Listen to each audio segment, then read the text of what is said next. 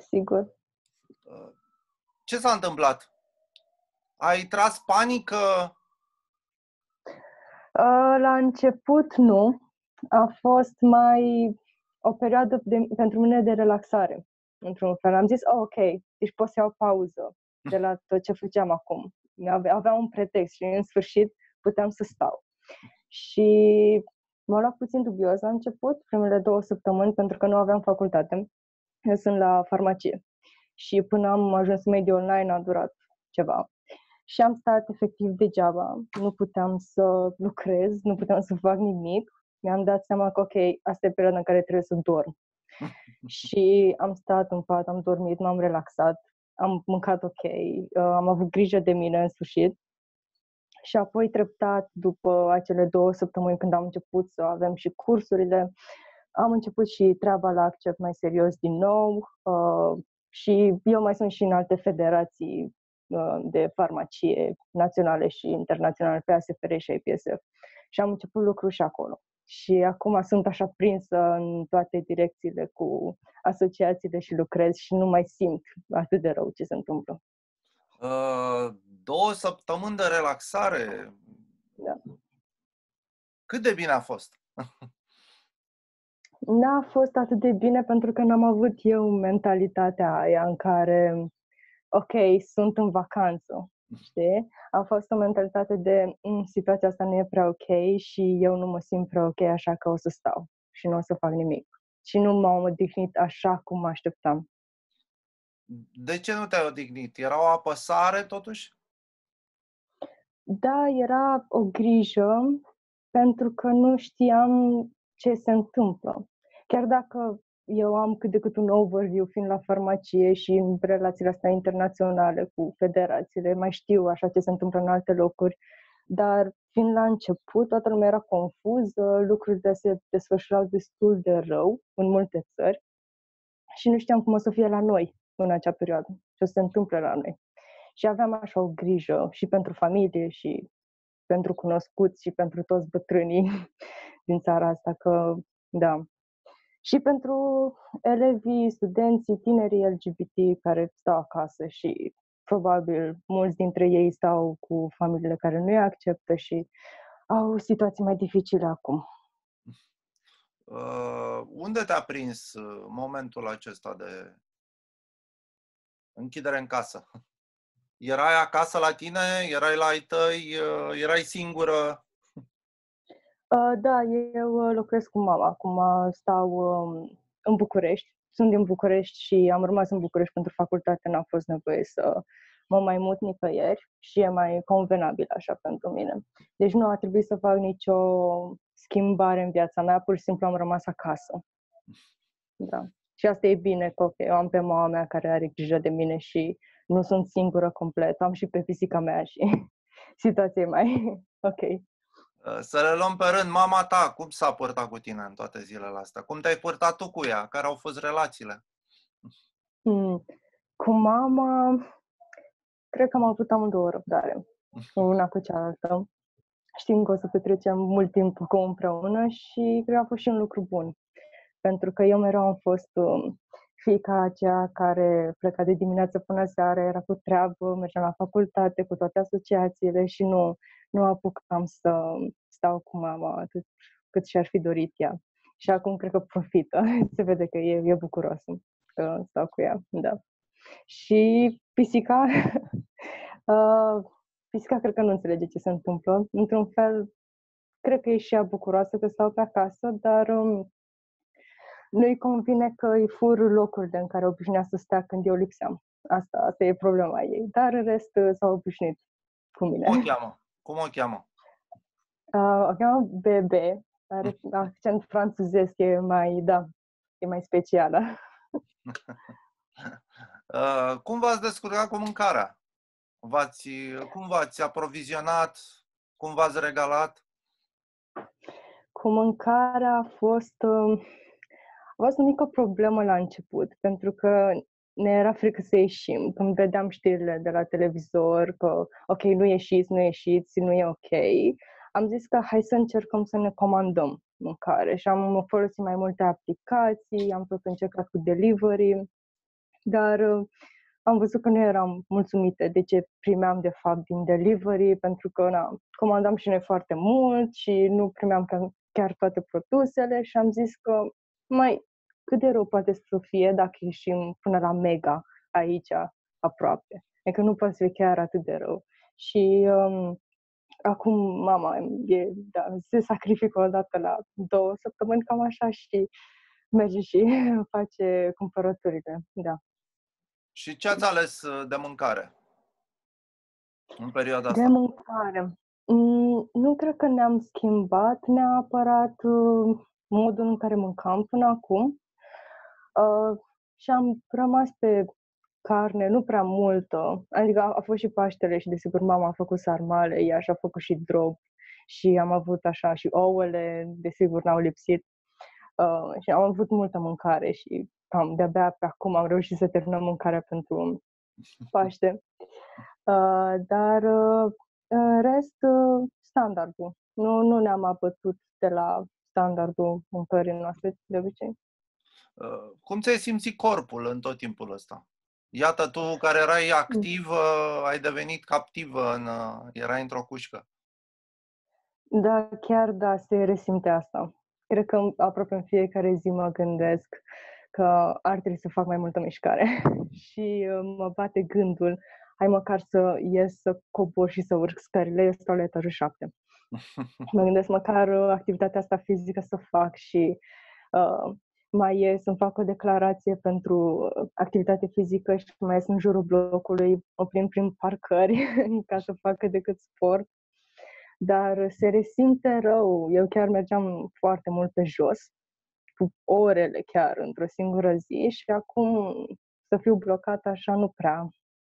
Da, se simte lipsa și încerc să fac și exerciții fizice în casă ca să mai îmi revin, să nu mă las așa să nu fiu atât de sedentară. Cu capul cum stai? Ah. Ca să nu-ți aminte razna. Ce ai făcut cu el? Da. Cum l-ai folosit? Ok. Cum am spus la început, a fost greu. În săptămânile alea în care nu aveam shutdown. Nu puteam să fac uh, mai nimic. Așa că am zis că ok, e timp de relaxare, nu-mi folosesc creierul. Și nu l-am folosit prea mult. Uh, dar uh, când am început toată treaba din nou, tot fiascoul, um, chiar e un lucru bun pentru mine asta, să fiu așa ocupată și mereu în priză, că nu stau și nu mă gândesc. Pentru că dacă stai în casă mult timp și nu ești afară, te apucă tot felul de gânduri și te simți destul de rău. Dar faptul că lucrez des și am și cursurile, am toate lucrurile astea de făcut, e un lucru pozitiv pentru mine. Că nu, nu am să mă gândesc.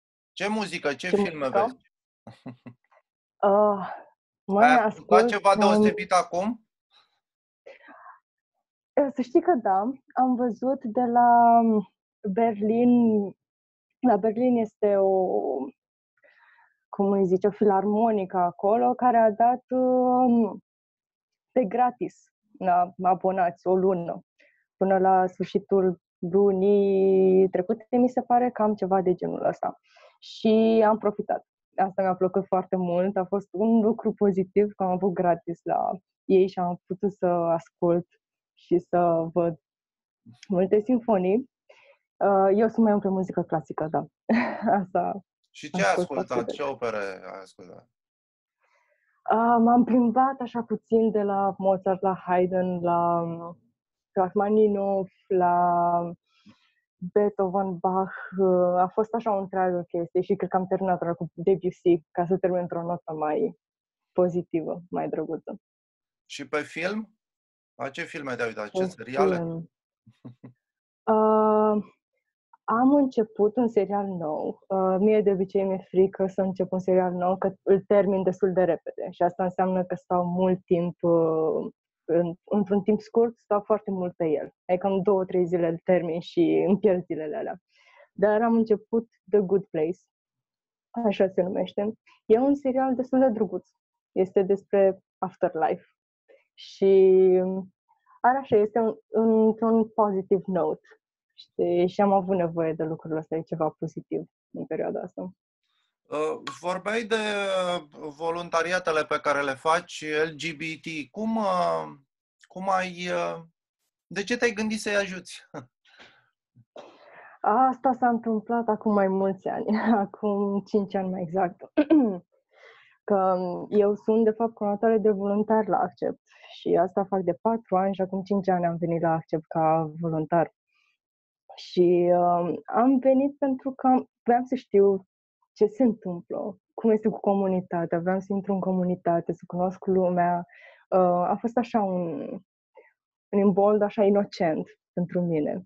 Și când am văzut cum este, câte lucruri sunt de făcut, când am cunoscut toți oamenii ăștia care chiar sunt minunați și foarte interesanți și m-am simțit și ca acasă um, acolo la Accept, am zis că ok, eu o să rămân și o să încerc să fac o treabă bună aici, cât pot.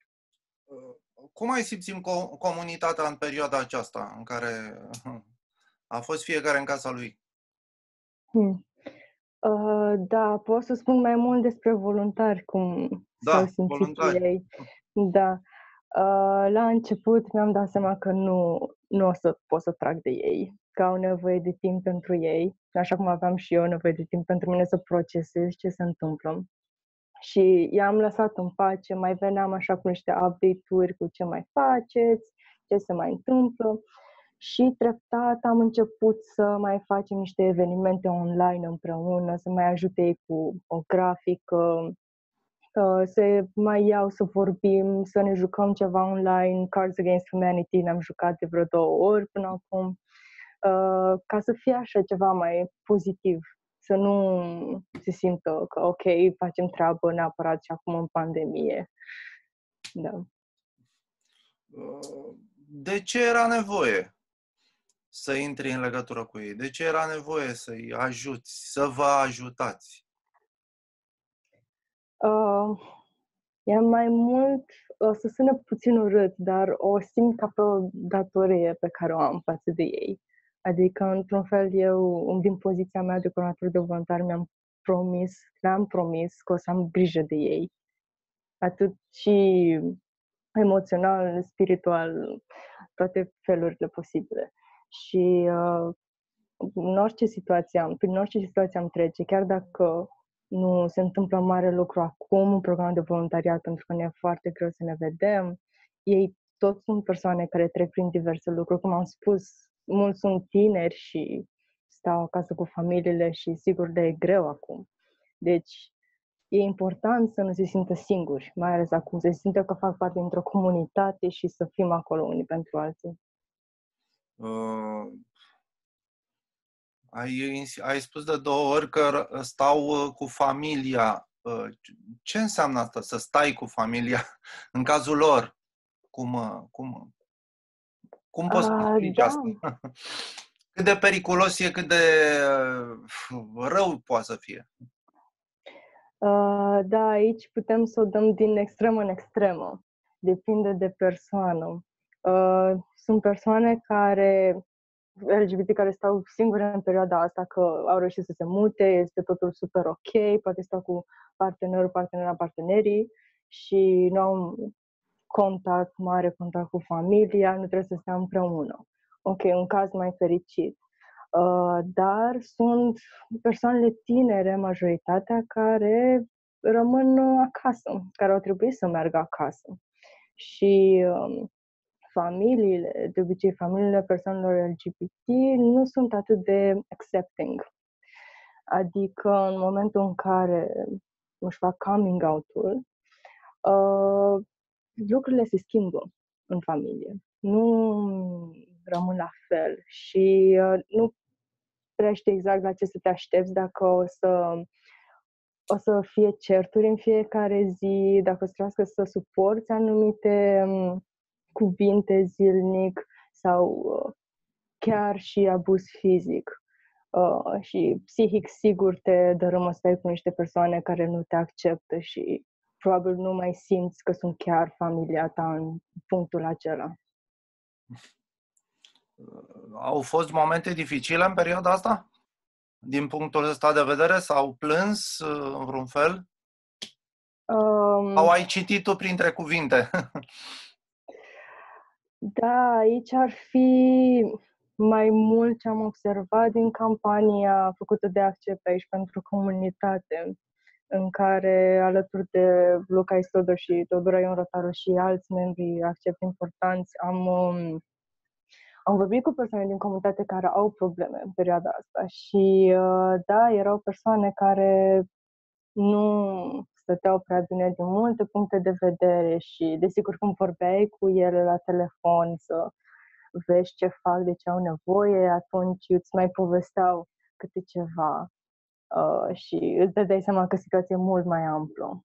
Cât, uh, cât de mult rău a făcut, de fapt, statul ăsta acasă, știi, să nu poți să ieși. Iar cu voluntarii, da, tind să vorbesc în fiecare zi cu câțiva uh, și îmi mai spun, îmi povestesc. Da. Uh, ce a fost bine în perioada asta? Pentru tine personal, pentru bine. ceilalți? Hmm. Surprinzător. Am reușit să o fac o perioadă productivă. Mai productivă pentru mine, dar într-un mod sănătos. Adică nu productiv exagerat astfel încât să-mi dăuneze. Și am învățat să mă relaxez și să muncesc, fără să mai îmi fac rău, fără să ajung în burnout. Deci asta a fost bine pentru mine. Uh, și ai spus și pentru ceilalți?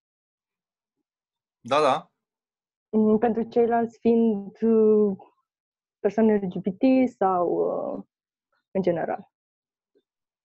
În general, uh, ce, ce povești uh, ai auzit uh, de bine în sensul ăsta?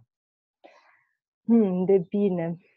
Am, cred că de bine mai mult doar de colegi care s-au apucat în sfârșit de învățat.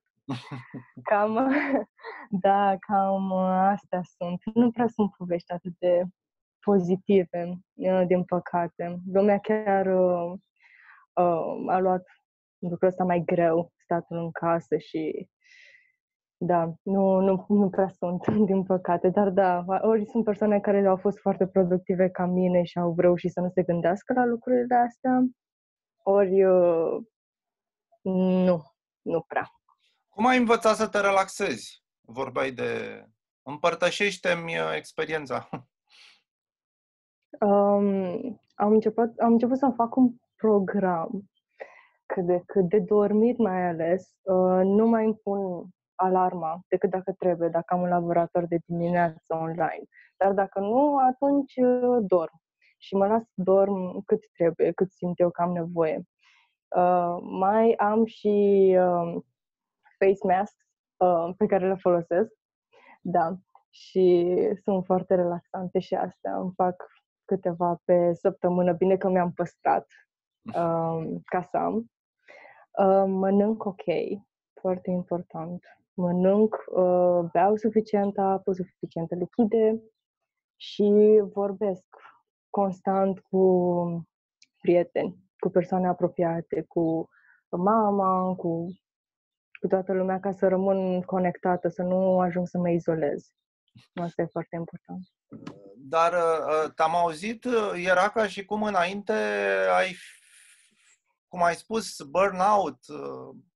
Cum da. te dăruiai, cum de te puteai dărui așa, dincolo de, dincolo de puterile tale fizice? De unde da. dorința asta, pofta asta nebună de a te dărui atât de dincolo de limite? Da, ar fi un singur cuvânt, știi, activism. Cam asta înseamnă. Când ajungi să te dorești atât de mult pentru o cauză și nici de, de fapt nici nu-ți dai seama. Se întâmplă pentru că simți că tu trebuie să faci lucrul ăsta. Și acum câțiva ani ți-am povestit, când am venit la Accept, mi-am dat seama că trebuie să fac ceva. A fost sentimentul ăla din mine, care a spus, ok, tu rămâi aici și ajută comunitatea. Și a rămas cu mine și faptul că vorbesc cu voluntarii, că sunt atâția voluntari care îmi povestesc despre ei și de nevoile pe care le au și îmi dau seama că este o muncă în care nu poate să se oprească și mereu mă gândesc, ok, păi dacă eu nu mai pot, dacă eu mă opresc din a face lucrurile astea, oare o să fie ok? Adică cât de rău o să fie pentru comunitate? Și de asta am sentimentul ăsta în mine de ok, muncește, muncește, du mai departe.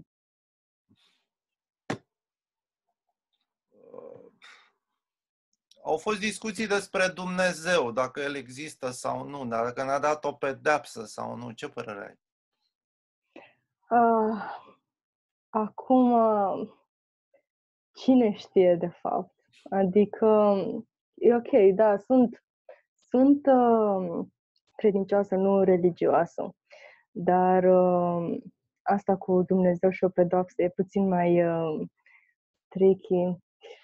Uh, acum, dacă stăm să ne gândim, dacă ar fi o pedeapsă, noi chiar am stricat planeta asta destul de rău. Da, am ajuns la climate change, care este un fapt ce nu poți să îl excluzi din conversație. Da? Și în momentul în care a apărut pandemia asta, noi eram deja într-o stare destul de urâtă cu planeta și prin ce trecea planeta și zilnic vedeam postări, updates cu ce lucruri rău se mai întâmplă, că nimic nu se îmbunătățește.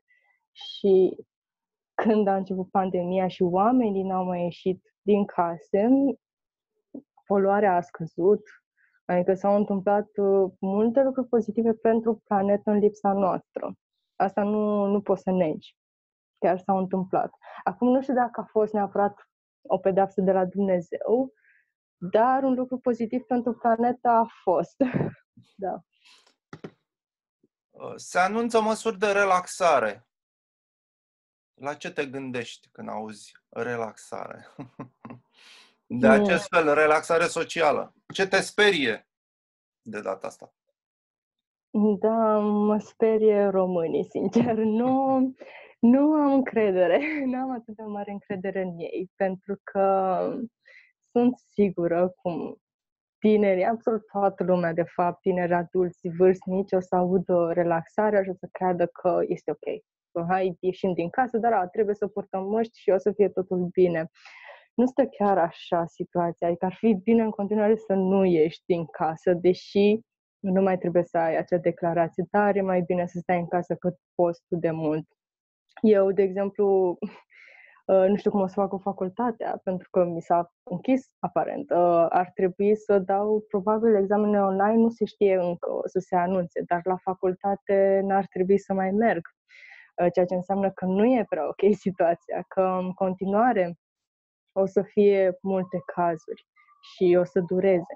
Cine știe când o să se termine, de fapt, până nu avem un vaccin. Cum te-ai obișnuit cu ideea asta? Că nu știu că virusul va fi cu tine de acum mm. încolo. Um, eu tind să mă gândesc mult, când mă gândesc la lucrurile astea, tind să mă gândesc la um, asiatici, mai ales la coreeni, pentru că ei mereu se protejează, ei mereu, de fapt, poartă măștile, pentru că nu se gândesc la poluare și au mai multe probleme de genul ăsta.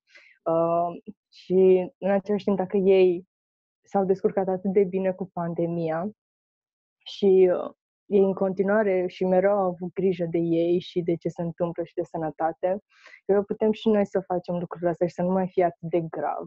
Și dacă chiar uh, ținem la igienă și purtăm măștile, uh, ar trebui să fie destul de ok în continuare după ce mai scad cazurile. Nu, nu acum, nu fix acum, dar mai încolo, peste câteva luni, ar trebui să fie mai decent îți dai seama câte, au, câte lucruri au dispărut într-o clipă uh, și de asta îți propuneam să te gândești și la asta. Uh, vederea profesorilor, discuțiile prin ecran, uh, uh, toate au apărut în uh, uh, imediat și au înlocuit îmbrățișarea, salutul. Uh, cum ți se pare toată povestea asta? Iată, vom uh, iubi niște măști cum ne vom îndrăgosti, poftim? Că vom vedea numai niște ochi da. tot timpul. Da, chiar um, m-am mirat puțin că mi-am dat seama că acum am mai multe ședințe online decât aveam face-to-face. Și mi s-a părut foarte interesant. Ok, în afară de cursuri am acceptat că totul s-a mutat și laboratoarele și cursurile mele s-au mutat online. Uh, asta a fost un pas destul de mare pentru universitate, pentru că noi nu eram pregătiți. Noi, ca UMF, Carol Davila, nu eram pregătiți pentru uh, mișcarea asta în mediul online. Dar uh, s-a reușit. S-a reușit și poate să reușească și cu examenele, cine știe. Uh, acum cu celelalte ședințe pentru ce mai sunt eu, uh, federații și accept și tot, uh, da, s-au mutat în mediul online și sunt din ce în ce mai multe. Lumea vrea să fie și mai mult în contact, parcă. Așa se simte. Sunt din ce în ce mai multe webinarii la care poți să participi, parcă sunt prea multe oportunități pentru toată lumea și nu mai știi unde să te duci și ce să faci. Probabil că e o nevoie de a atinge sau uh, vria asta de a atinge, de a pune mâna, de a, uh, de a trăi cu patimă s-a transformat într-o obsesie din asta a ecranelor. Da, sau frica de izolare chiar. Da. Să te simți cât mai conectat. Ți-e frică să nu, să nu te pierzi în perioada asta și... Da.